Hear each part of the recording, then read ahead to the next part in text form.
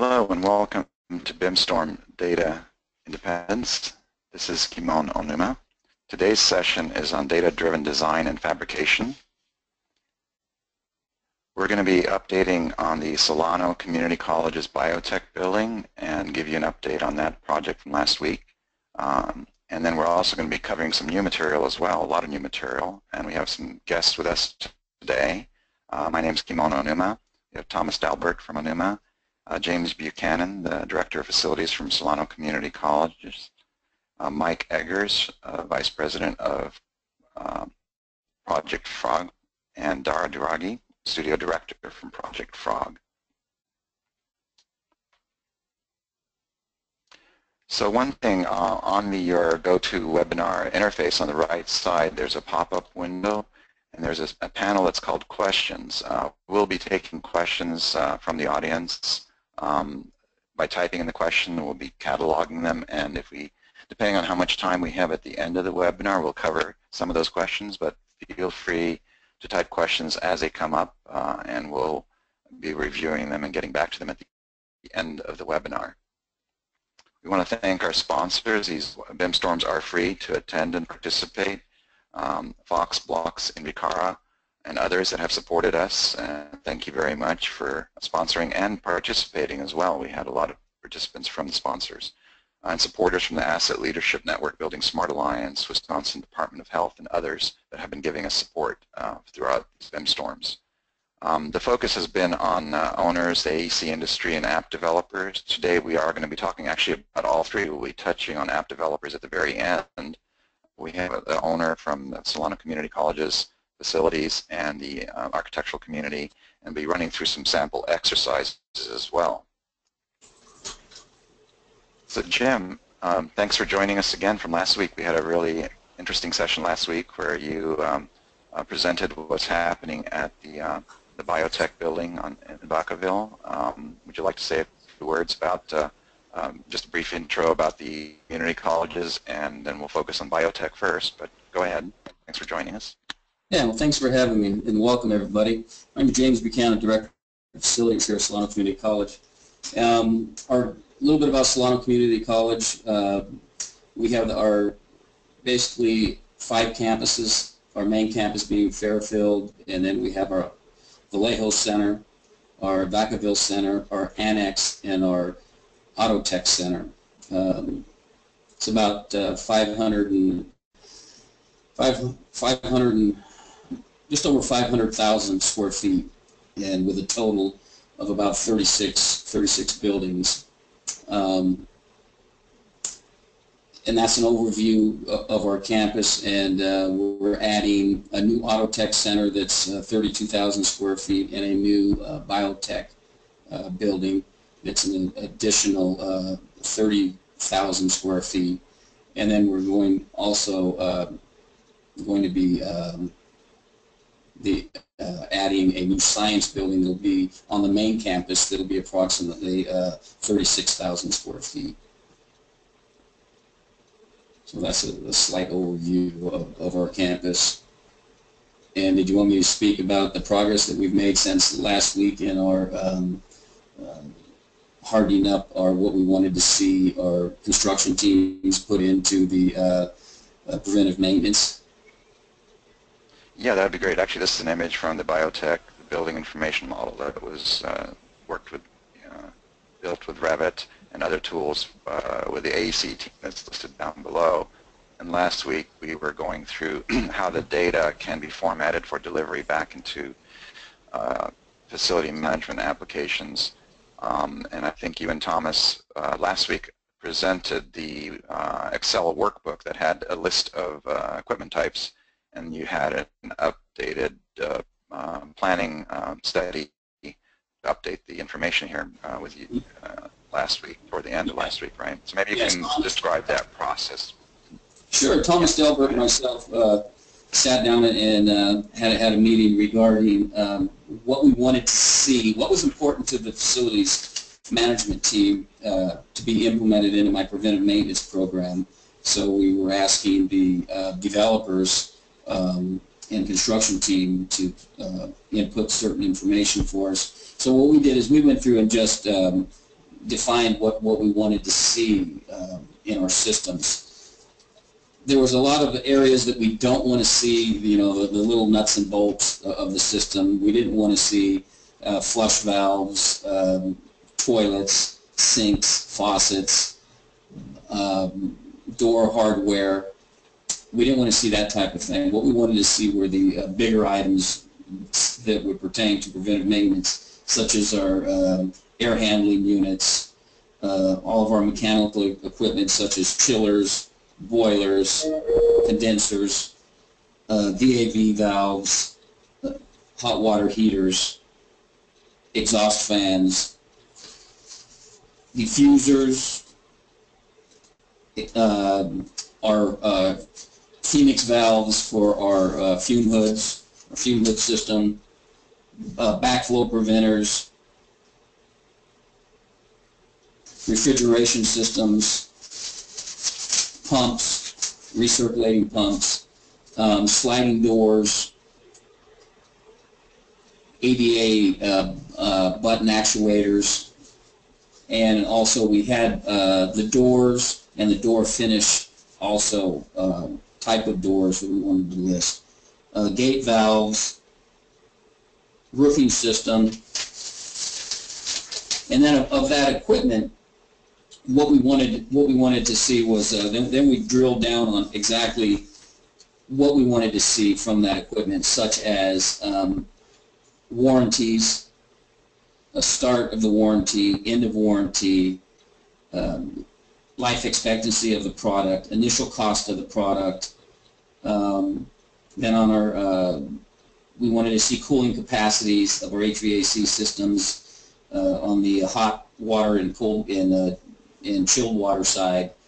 Uh, we wanted to see the information on our, on our VAVs, on our chillers, hot water heaters, pumps, doors, hardware um, that that the design team could put in for us so that we could extract this information uh, from the from the uh, Excel workbook and uh, extract that into our Onuma preventive maintenance uh, work order system so that we could have the ability to create uh, new PMs for all this new equipment that we're having at these three buildings. Um, here at Solano, we have a very small management team of myself, an assistant director, and an administrative assistant. So for us to sit down and, and, and try and collect all this data by ourselves would be a, a, virtually impossible task for us. So that's what Thomas and I uh, uh, discussed last week and kind of defined those parameters, what we wanted to see. Right. So what we're looking at on screen is an updated Excel file that you and Thomas actually went through piece by piece and listed the objects, uh, the components that you want to track information on that you're expecting the AEC team to deliver. It's a subset of the building. You even added some more that were assumed last week that you did not need, and those were turned on back in the model. That's what this little screenshot here is here on the right, that additional electrical components were decided to be included. So now yeah. there's a complete list through in Excel that was posted back to the, um, the model, the website for the BIMStorm, and everybody that's actually um, participating in the BIMStorm can actually get access to this, as well as a team that's going to be submitting for the actual project back on biotech, is my understanding where we are, right? Yeah, that's right. Yeah, this is Thomas Talbert. Thomas. Yeah, right. go ahead. I, uh, yeah, that's right. It's linked to the building, so anybody who goes in there and looks at that building, you can uh, look at the attachments for that specific biotech building for Vacaville uh, and, and download those files if you're interested in seeing what, what we determined or what uh, the facility management team and, and uh, Jim Buchanan uh, decided that would be important to collect the type of data. Uh, we also added this column, this one PM uh, procedures column, so for the for whatever every single uh, type of, of uh, asset that has a X in that column means that they want to see the procedures for for the maintenance, preventive maintenance. Yep. Right. Okay, so yeah, this is Excel file and it's available for those that um, so this is an actual, live, again, we reiterating, this is an actual live project that's under construction right now, and we're getting a really great glimpse into what an owner like uh, Solano wants to have uh, back for this project at Vacaville. and um, it's interesting because this is that, that toward the middle and the end of the project as in construction, but it's going to be applied to new projects as they come in in the future as well too. So it's a good prototype that's going to be applied to the other projects on the campus. Um, so it's a unique opportunity for all of us that are participating, participating in BIMStorm to see firsthand what that really means. Um, so Jim, I'd like to kind of fast forward a little bit and um, go into the Fairfield campus where um, uh, there's a master plan that was uh, produced uh, a year or so ago, a couple years ago by STV VBN. Um, and on that master plan, uh, some new buildings have been identified. These are future buildings that could be coming up. Do you want to describe a little bit about the master plan and um, your view of it? Well, I've been here only for about two years right now, uh, Kimo, so the master plan, I'm, I'm, I'm familiar, familiar with it, but um, the one we're moving forward first that was identified on the master plan is our science building, um, which we're, we're going to be building. Uh, we're also going to be adding a, um, a new, um, let me take a look at this one here. Our new performing arts, right now we're re remodeling the existing performance performing arts building. It's getting a complete renovation. Um, and then there will be uh, possibly in the future additions to that. Um, we all, we're also looking at uh, our current library is approximately 48,000 uh, square feet and it was built in 1969 so it's it's about 45 47 years old right now. Um, and we're looking at a, a, replacement of that you know building the new library and then tearing down the old one. Um, so we have quite a few building quite a few projects planned uh, for the community college here on the Fairfield campus which consist of 192 acres um, about 500,000 square feet and um, currently right now we have 26 buildings on the main campus on site, but uh, overall we have a total of uh, 30, uh, 33 buildings throughout the um, satellite campuses and the main campus.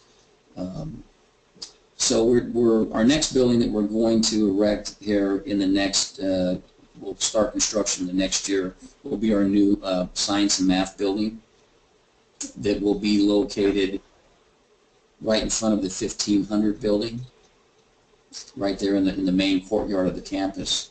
So, and that, you know, that building is going to be roughly 36,000 square feet. It's going to, um, it's going to house our anatomy classes, our labs, uh, science lecture halls, our veterans uh, center. Uh, that's very important to the campus that we, that we give them a nice area that they can uh, come and retreat to and have a place to gather, you know, and, and uh, speak about their, you know, classes and situations. And that will be part of the science building also. So we're really looking forward to, to this to this project, and um, looking forward to the future buildings also on campus. Great. So our exercise today, or the webinar actually, is uh, titled uh, Data-Driven Design uh, and fabrication. So we're fast forward now. We, we heard about the biotech building that's being completed, and now we're going to run through a simulation of what it would look like if we started from the very beginning of the project with the data requirements for a new math and science building. We're going to fo focus in on the math and science building, and uh, we're going to uh, simulate building, uh, rapidly doing a plan that matches the master plan uh, scenario here. Um, in previous webinars, we described how uh, standards for spaces and equipment um, uh, are available to the BIMStorm teams to use. So you can call up typical classrooms or typical offices or conference rooms and start building up uh, room by room. Uh, we're going to fast forward a little bit and start from the site planning level and run through an exercise now. And I'm going to go away from uh, PowerPoint for a little bit and just go straight to a website here that we've been using for the BIMStorm. Uh, this is actually the same tools that uh, Solano is using right now uh, for managing the facilities. Um, we've uh, layered in, uh, this is on a website actually, so we're seeing a map uh, view of the campus scenario, Google map view. We've layered in the, the master plan on top of that so we can actually see the kind of before and after, so current condition, um, and then the proposed condition. So currently there's a, um, a place in the middle of the campus that has the existing math building, I believe it is uh, right here. The existing math building, 1500 building. The 1500 building is right here. Correct. and there's a, uh, a grassy area to the north, and the proposed master plan looks like it's proposing to keep, possibly keep existing math building and build a new math and science building wing to the north of it. Um, so what we've done is um, use that as a guide, and then we've uh, layered some buildings here off to the side. And we're going to open these up as well too, but conceptually when you're doing a quick plan like this, the idea is we want to not only work with uh, shapes and things, but we also want to see information about those buildings. So for example, if you say, well, if we, what options do we have to fill in this, this uh, master planning scenario here? We could put a building like that, we, we could turn it around. So it's a quick study, and, and while we're doing this, data is being generated about initial cost and square footage and things like that, and building a BIM here on the fly. So that's part of the BIM storm process is how do we collaborate, and if, Jim, if you're the uh, facilities, uh, representing facilities or, or, or the district, maybe in a planning exercise, we're saying, okay, well, what do you want? Let's different options. Should we do it like this, or should we put the building over here, or do we even want to possibly even consider taking down the existing math and science building and building two new buildings? Uh, that's still um, part of a planning exercise. We're doing what if, what if scenarios like this. Um, then if we open up one of these buildings, let's look inside this classroom building here, the next part of this exercise, we're going to be interacting with uh, a group called Project Frog, who's online right now, uh, Mike and Dara. And um, I'm wearing the architect's hat. Hi, Dara. Hi, Mike. Thanks for joining us. Um, we want to run through a, a, a planning exercise using uh, your uh, building data, and maybe you could describe a little bit first about what you guys do a little bit. We'll, go to slides for a few slides and jump back to the um, um, live planning exercise. Well, why don't you introduce Project Frog a little bit so everybody knows the context of what we're going to be doing and why you're online. Okay, so I'll, I'll take over from here. This is uh, Mike Eggers from Project Frog. Um, so Project Frog, uh, we're a prefabricated um, componentized building system.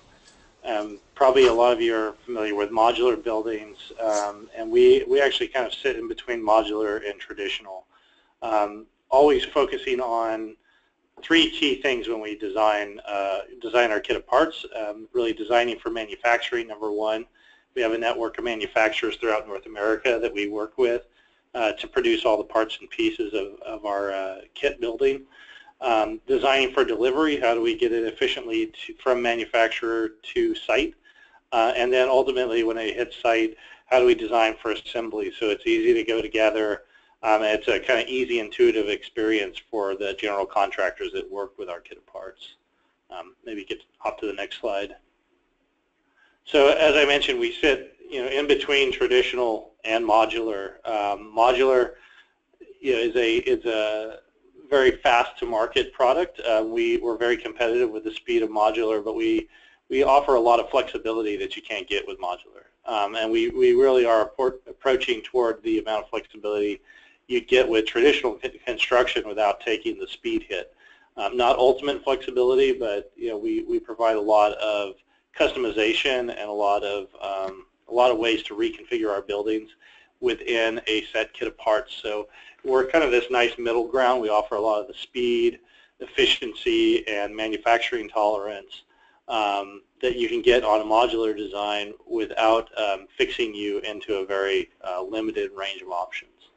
Uh, maybe we can kind of skip over the next slide. I think this, I kind of covered this in the first one. Um, we also take a platform approach um, to our kit of parts and really the whole ecosystem that we design. I, I use this image to kind of hit home the idea in the in the automotive industry, the idea of a platform approach. Um, you have on the top here a Fiat 500X, the bottom a Jeep Renegade, actually the same exact platform, uh, and very different products that you can you can get from this common platform. If you can hit next, I think it'll pop up our uh, building images. But we, we take the same approach, right? How do you produce um, from shared SKUs, shared design and engineering resources, common, excuse me, common documentation, um, a manufacturing network and supply chain, and really a technology stack that underpins all of that. At the end of the day, you, you know, you can create a lot of different building types from that. Um, and and then as we as we have that underpinning technology stack, um, really how do we go direct to manufacturing with our kit components? So eliminating shop drawings um, and cutting the time to manufacturing ready. So we can automate that process. We have a video we'll show later on that demonstrates the automation there. Go to the next slide. And then this is just uh, some images of some of the buildings we've done in the past. This is our two-story, one of our two-story typologies. Um, you can see definitely not the feel of modular construction. It looks very much like, uh, I like to say, architecture with a capital A. Um, permanent buildings, um, you know, if, if, you looked at them, you would think these were stick-built um, and maybe even custom buildings. This is kind of our, you know, very much goes to our brand, these kind of really beautiful interiors, exposed glulam beams, uh, metal deck, uh, really great learning environments for the kids. So um, very much the feeling of permanent architecture, which it is, um, with all the flexibility, speed, and efficiency you get with prefabrication and componentized construction. Um, Great, thanks Mike. Yeah. Yeah, so we're going to switch over to, we're going to come back to the slides again after the live exercise, but from what I've heard you say, you have a platform that we have to follow certain rules to fit within that platform, but there's a lot of flexibility. It's not your typical modular buildings that maybe a lot of us are used to. It actually has nice capabilities of uh, uh, supporting the architectural needs that uh, you would have in a exactly. campus. Exactly. Yeah, but within within certain rules, obviously, and that that's actually help helps us as a designer. So what I'm going to do now is I'm going to switch and put my architect's hat on, and I'm going to want to have a dialogue with you guys as we go through this planning exercise of this new math and science building. And the other, if we switch back to the data uh, uh, theme that we have today, data-driven design, obviously if you have a platform, then you have a lot of data in these buildings that support the dimensional needs of uh, a room like this, but also the manufacturing needs, which we'll show toward the end, and also the data delivery back to the owner, which is what James talked about earlier. When a building like this is completed and uh, Solano needs to maintain and manage this building, if you deliver not only the building, but the information that goes into the building, the type of lights and the type of windows and doors and panels, that's also very valuable as we saw to an owner. So that's actually an opportunity for us as the AEC industry not only produce great design, but produce great data that goes along with it. Would you agree with that great statement? And I think you guys are, what, what drew me to a lot of the work that you guys are doing is that that thinking is, uh, the platform thinking, the data thinking is pretty exciting if you think about it like that. Absolutely, yes. Great. Okay, so Dara's on now, and Dara and I are going to we have this prototypical layout here, and this is, again, as part of the BIMStorm, those that participate get access to these tools and the actual data that we're running here. Um, but we have these uh, modular pieces of classrooms that are fitting into this, this grid here. And we have to work within certain rules, I believe, right, Dara? So if I wanted to, uh, for example, um, um, say I want a larger room, um, obviously I can uh, graphically stretch this out, but I know that uh, this edge is 32 feet, and if I want this to be, what's the next module that's possible here? Is it uh, 40? It's eight-foot modules on the horizontal. So if I go eight, eight, uh, 40 feet here, then that would be a possibility from a design perspective. I can actually have a larger room possibly here on the end, right? It has other implications obviously here, but right. that's a type of discussion I think that we can have. Like we could say, okay, we want a typical classroom here, but maybe this needs to be more of a laboratory space or meeting room or whatever, but within a certain set uh, size. Um, and the other things that we could do from a planning perspective, as Jim was talking about the campus, we know that we have this uh, courtyard that we're working with, and maybe uh, this lobby really needs to be on the other side of the building. So we could just say, okay, let's let's actually drag this over and and make the design that uh, takes that into account. How do we uh, work with a building that uh, needs a lobby on the other side? So that's another potential planning scenario. Um, obviously the completed design, uh, the design is not complete yet, but we're dealing with the programmatic requirements of a building like this, and I'm not going to go through all the design iterations. We can pretty much imagine what's possible here. From an owner's perspective, and this is very similar to the work that we showed in previous webinars for the healthcare planning for the Department of Veterans Affairs, there are typical room sizes and types and configuration and furniture and equipment that's needed in each room, and we don't have to reinvent the wheel each time if we have access to that data. Again, it's all a data-driven thing. How many seats do we need in this classroom? And then from the Project Frog perspective, it's how big can it can the room be, and what uh, what size can uh, um, that side of the wall be and even where the openings are. I think maybe, in, in fact, I think you have some slides later on, Dara, about the shear walls and everything, but I'm not thinking about those right now. I'm just thinking in terms of the layout of this building. But can you give me any more input of what type of dialogue might happen at this early phase of design and uh, from your perspective? Sure, yes. So there's a series of rules that uh, we have to abide with here. Uh, as I mentioned, along the horizontal axis, uh, it, it's based on 8-foot modules, and then on the vertical axis, it's based on 6-foot modules. And then we can provide three widths for the corridors, for instance. Uh, goes from 8 foot to 12 foot to 20 feet uh, in the middle. And also, we have another rule, structural rule, that uh, the top portion of the building and the bottom portion of the building can be only offset 25% of the total length of the building. Okay, So those are a series of rules that uh, we need to work with. right. Okay, so if I get within range and even if I'm breaking some of the rules, you could either guide me as we're doing an exercise like this, or I could send this to you and you could continue the design. Maybe we should talk about that process a little bit because I Yeah. found that pretty interesting. I'm, I'm doing a quick layout here. All I'm thinking about now is, do, am I, do I have the right number of classrooms in? I'm not worried about the wall systems or anything here. Um, but what does Project Frog do with something like this? It could be a napkin sketch or it could be a CAD file or it could be a BIM file like we're looking at here. But in this case, we're looking at BIM.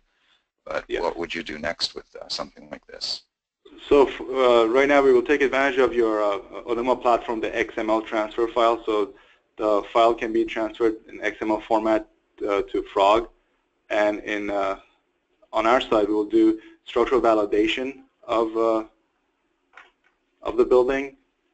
And uh, we can go to the slides and I can show you how Okay, that's done. yeah, I'm just going through what you just described. So I'm basically exporting from here an XML file that's online. I've, I've decided this configuration is good. I got the lobby on this side. I didn't resolve all the hallways and other buildings, but I, Yeah. I'm telling you I want the lobby on the right side. And then we're going to switch over to your slides now. I'm just going to show a few of the concepts here. And I could even have discussions about, you know, sloping ceiling, whatever. Is this what it's going to look like, actually? Is this a sloping ceiling? Yeah, it's sloping here, right? Yeah. So do I have a slope or not? It could be a slope Okay, ceiling so- or it could be a flat ceiling. Mhm. And you have height, um, range of heights that are possible or a fixed height. Uh, Correct. Actually, Okay, what we ahead. provide is 13.5 feet to bottom of deck. So unlike uh, most modular uh, buildings, we do provide a very high ceiling, and also you get a lot of natural light. So here Okay. you have the data transfer from Onuma system to Frog through XML. We get that uh, floor plan, and uh, we plug it into Revit, and we go through a panelization process. And as you can see, we can uh, we can assign different panel types uh, to each wall. So you can have a window wall, you can have a door wall, you can have a um, clerestory wall or solid panels. They could be non-structural solid panels or it could be uh, shear panels. So uh, there's a back and forth between us and between the client uh, in order to be able to define the building. So this is the panelization process. And after that, uh, we call it the frog component model, which is set based on the back and forth that we've gone through. So what you see here is our component model, and you see the elements that we will provide uh, as a part of the kit. So uh, as part of Frog Kit, we provide glulam beams, wall panels, glazing system, light fixture, and steel hangers, uh, and also the roof deck. And all of this that you see here was informed basically uh, based on a process that was uh, on the previous slide. So the glulam beams here are the eight-foot modules that you described earlier. So from a designer's perspective, I know that that's what's being what's what's possible. I could decide to make that a design element in the room by exposing them, or Yes. knowing that module helps me understand what the the lighting uh, grid is going to be. And I, I see lights here too. Do you also provide light fixtures? Is that correct? Yes, we provide light fixtures. Actually, we have a proprietary light uh, system, lighting system, and we have uh, this beautiful light fixtures that we designed called Lantana that we provide as a part of our kit. Okay, great. And what are the orange panels here? So the orange panels, this is showing an instance when the um, component model goes through structural validation. Here it shows areas which uh, are going to be used as shear panels. Okay, great. That's good to know. So actually that's kind of interesting from James Buchanan's perspective, from a facility manager's perspective. If they have this data from the model and they have the lights, obviously that would be of interest, and the doors and window information to maintain this building when it's done. But also knowing where the shear panels are so they don't get a hole in that shear wall seems like it would be pretty important in some cases if they want to open up a is, is that what's really happening here? It means that if it's not orange in the future, it's possible to break through that panel or replace, change it, or how does it work? Yes. So if it's not a shear panel, you could change it in the future or even during the design process, say uh, you've gone through 75% DD effort and then you want to add another uh, window. We go, we go back, look at the model, and instantaneously we can make that decision, okay, you can add a uh, window here. So it makes decision making uh, much easier. I see. So from the design that we were just looking at, I could say we could, you and I could have a dialogue because I could see the model now, and I could say I want to change that window to a door or uh, change that. Uh, is it possible to change that, that shear wall, for example? You would say no, you can't do it here, but you might be do, able to put it on the other side of the, the wall. Exactly. Um, and I could uh, decide where window windows and doors could go. So there's that flexibility, that back and forth which goes back to the data part of this. Because you already have this figured out on your side from an engineering perspective, it actually lets me as a designer make more rapid decisions. Um, so one more question. At this point, we're we even be pretty early on in the design and we're having very specific discussions, but I imagine quantities and cost and that type of information is in your database, so you could start even providing that kind of input. Is that correct? Correct. We keep track of all that information uh, through schedules. And uh, so essentially for us is an end-to-end -end transfer of data. And uh, while we are creating the model, we actually have our supply chain team very involved early on, and they help us uh, with managing that data as well. And then as you see here, uh, you could also, through automation, extract panels out of the model and create shop drawings. And uh, through these shop drawings, we are able to keep track of all the fasteners, all the bolts, uh, all the shear panels, all the, uh, the different elements that go into the uh, creation of these panels. And we go again through this XML file transfer that goes to a fabricator, one of our um, network fabricators in, throughout North America, and then in real time they're able to uh, cut those panels using their CNC machines. Interesting. So the XML here is an output from your model now and have it to the fabricators, and it gives them information on how to cut the panels. But again, since we're focusing on data, it's a good topic here because you actually imported an XML from my preliminary design layout that I did, imported that XML into Revit, used that to generate the, the, the model that you then added more detail to with the panelization and the families that you use. And now you have an XML that goes out to the fabricator to actually fabricate those openings and, and panels. That's correct. Yeah, and actually the dimension of that, uh, or the number of panels was driven by the size of the room that we were talking about. You can go into eight-foot increments, so when we bumped that room out eight feet, it actually added another set of panels when you got into your design, your details. So essentially the preliminary planning studies that we did, you see them directly reflected in the shop drawing creation, and then it turns into XML, and then goes into fabrication. So it's all interconnected. Okay. Great. Yes. And I think we have a video that shows how the process works, the panelization. Yes. So here's the video. Do you see it? Yes. Okay. You want to describe what we're seeing? So this is just um, showing kind of how we jump from the panelization process into shop drawings.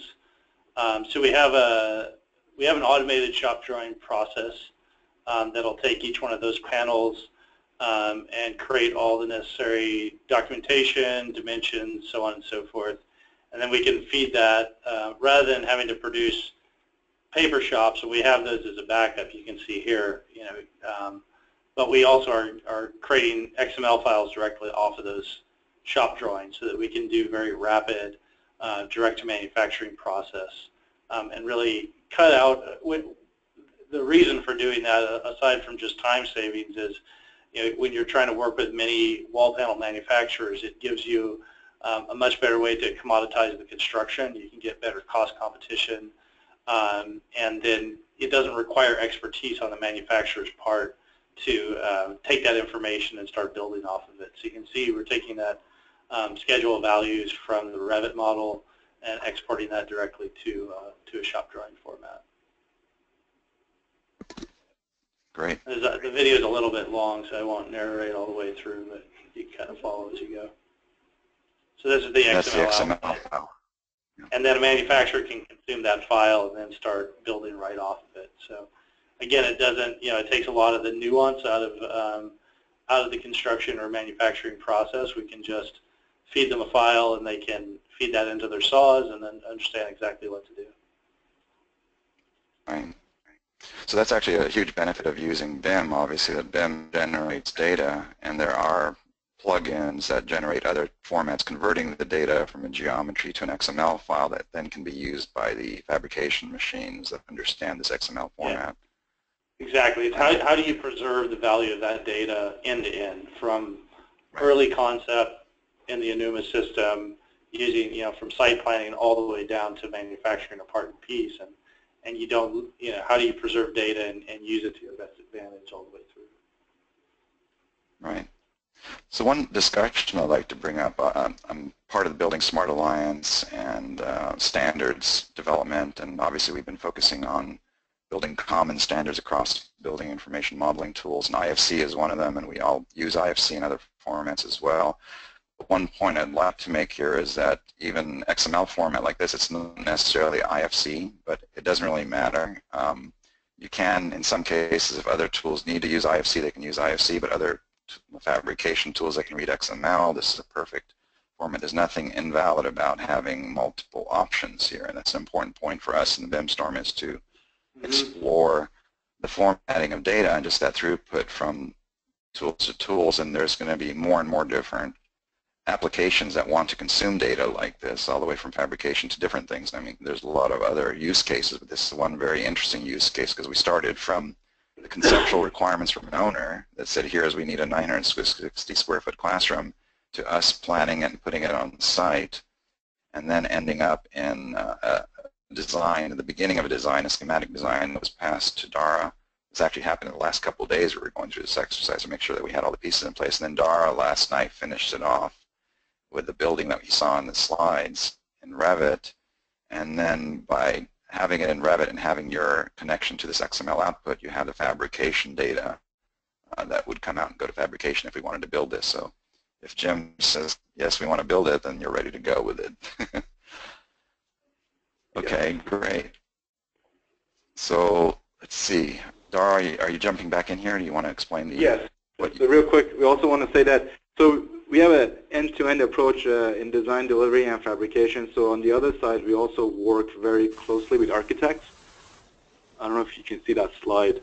Uh, uh, so we do provide an architectural model with the component model linked into it, and that architectural model actually enables the architects to generate uh, their construction documents they can use it as a background, or they could even use our predefined preset details uh, to generate a set. So you it's a provide all these details. Yes, we do. Yeah. We, we provide series of details uh, in the model. So if the architect chooses to use our details, they can. Otherwise, we can provide our model, the component model, as a background, and the architect can populate uh, the details based on their own uh, building systems. Great. So this is essentially the same data that was used to design the model, and then even the fabrication is a different output. Obviously, the XML that we were talking about earlier is for the machines to read, but in this case, we're going back to the architects to be able to interact with the model and add more information to it, finish, finish schedules, whatever they want to add to. Is that correct? Correct. And your, So around your everything is under one roof, essentially. Yep, yep. Great. And the end product? And this is the end Like product. this. Yes. Mhm. Happy students. That's our goal. There you go. All right. So this, yeah, great. I I really appreciate you guys walking through this with us and actually doing an actual exercise of that building for the Solano campus. And uh, it's pretty evident how quickly you can run through these planning exercises. We're not just drawing shapes on a plan. We're actually dealing with the actual data that's connected to all the knowledge that you have at Project Frog of putting these buildings together and ending up with something that is repeatable and cost effective and has that quality that uh, is needed. Yes. All right, great. So I'm going to switch gears a little bit here um, to, we also had discussions with other groups. There's another group called Blox um, that uh, we just talked to last week. And they have uh, a, a, similar concept but focused on healthcare. Uh, and theirs is about modular um, spaces and modular components in the building, specific buildings components. For example, the head wall on a uh, patient room and the, the, um, the restrooms uh, in the patient room. So we actually uh, interacted with them and got their information and actually output from the, uh, the SEPS to BIM or program to BIM process the VA typical requirements for a patient room and a restroom. We just said, okay, let's call up eight rooms. This is live data. Again, if we're talking about data coming from the owner, this is owner's data generating the requirement spaces. And obviously these toilets aren't the right configuration to fit into um, the Blox module, but we can still use these as an initial planning exercise, just like we did with the classrooms, uh, configuring them quickly on a plan and then doing scenarios of how they would fit, and then saying, okay, what about this configuration? At this point, we would have a discussion with Blox and say, can you give us information about how this toilet should be set up to meet your prefab modules? And Blox has a family that's actually an entire room like this, we would plug that in, replace the individual components with the Blox uh, family for that room. And then in, the end result would be in Revit, we would have uh, pre-configured uh, toilets as well as individual freestanding components as well as a pre-configured um, um head wall of the patient room. So this is a, a, similar process again to what we showed with uh, Project Frog. Um, I think there's other companies out there that do similar approaches. So I, I think this concept of design fabrication and, and, being able to communicate with the design teams what's needed is uh, is really getting more and more interesting as a lot of this data starts flowing more efficiently from tool to tool. So we're getting into the last few minutes of this webinar, and I wanted to end with um, one other theme that we had. This is what happens in the background. As we are moving these rooms around in real time, I'm, I'm actually on the web right now, and as I'm saving this, um, it's actually feeding it live into um, uh, another tool that we showed a few weeks ago, which is a portfolio viewer. This is a, the open source tool that we described the BIMGenie, the plan tool, and leaflet. Um, of different projects that are in BIMStorm. And again, anybody that's participating in BIMStorm can have access to all of these um. We even have the Kobe clinic and everything else in here. But well, let's focus in on Solano and look at what happened in Solano that we just did here. So the Solano campus is right here in the Fairfield. And the math and science building that uh, we were just configuring with Dara is right here. Uh, this is live, so there's the, the layout that we left with. Remember, we actually moved the building into position. I can't edit it here, but I can view it. And from here, I can then see the ground floor of this building. There's a layout, there's the components, there's the edits that we were starting to do uh, and save. And the point that we'd like to make is on the lower right here, if you're a software developer, you actually have access to what's called APIs and GeoJSON web services, which means you can, just like um, we heard from Project Frog, the XML files, um, the, um, the current spaces, for example, are a GeoJSON geometry, which is feeding out, actually I should open it in uh, let me open it quickly in Chrome because it formats it more prettily, pretty in a pretty way. Um, it's machine readable data in JSON format that can be read by other tools, including uh, tools like we saw with the fabrication. So this is actually a, a, BIM of every space in that building with the coordinates of the, that space, which means that you could potentially use it to do this kind of panelization exercise from directly from here.